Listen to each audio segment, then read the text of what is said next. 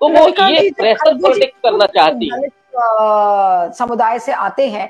तो फिर कांग्रेस इस चीज़ के लिए रेडी क्यों होगी कि वो मायावती को प्राइम मिनिस्टेरियल कैंडिडेट बनाए? और मायावती की तो जो प्राइम मिनिस्टेरियल एम्बिशंस हैं वो अभी से नहीं कई सालों से लोगों को पता है कि वो 2009 में भी हमने देखा था इस तरीके से उसके बाद ये बात आ रही थी फिर 2019 में भी ये बात आई कि वो एक दलित प्राइम मिनिस्टर बनेंगी।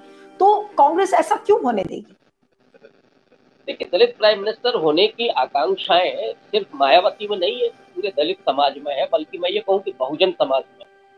जो भी बाबा साहब अंबेडकर के फॉलोवर हैं और जो संविधान को मानते हैं, वो ये चाहते हैं कि इस देश का प्रधानमंत्री हाशिए के सबसे निचले तबके से भी निकल करके आएगा तो सामाजिक न्याय की जो पूरी राजनीति है और जो नीतियाँ हैं, वो ठीक ढंग से लागू होंगी। तो ये सिर्फ़ मायावती की महत्वाकांक्षा उनकी हो सकती है, लेकिन अपेक्षाएँ और भी समाज की मायावती इस अवसर को भुलाना चाहती है। वो चाहती है कि लोग जब इस रूप में देखते हैं और कांग्रेस पार्टी उसके लिए तैयार हो सकती है तो क्यों नहीं वो हो?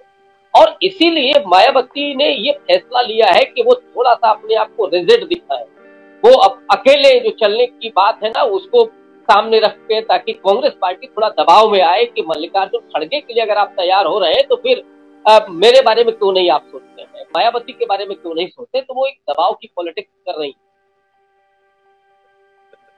यानी कि जो ये रिजिड स्टैंड है ये कांग्रेस पर एक तरीके से प्रेशर बनाने की कोशिश है कि कांग्रेस उनके नाम पर रजामंदगी दे दे।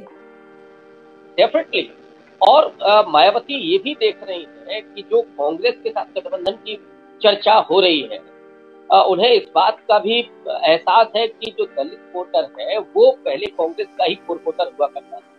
कांशीराम साहब के अपने मूवमेंट के ज़रिए और जब बीएसपी बनी तो उसके ज़रिए वो बीएसपी के साथ जुड़ गया। और वहाँ उसके एक्सप्रेशन उसके जो तमाम अपेक्षाएँ थी, वो वहाँ फुलफिल हुई, कुछ अधूरी है।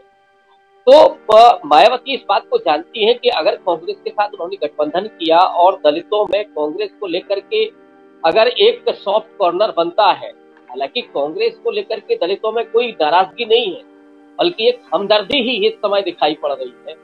जैसी नाराज़गी बीजेपी के साथ है, वैसी कतई नहीं है। तो कांग्रेस पार्टी में अगर वो वोटर लौटता है तो मायावती को ये डर भी है कि कहीं ऐसा ना हो कि कोर वोटर कांग्रेस का वो उसकी जगह चला जाए तो फिर उनके लिए मुश्किलें खड़ी हो जाएँगी, फिर वो बेहद कमज़ोर हो जाएगी, उनका दलित वोटर भी उनके हाथ से निकल जाएगा।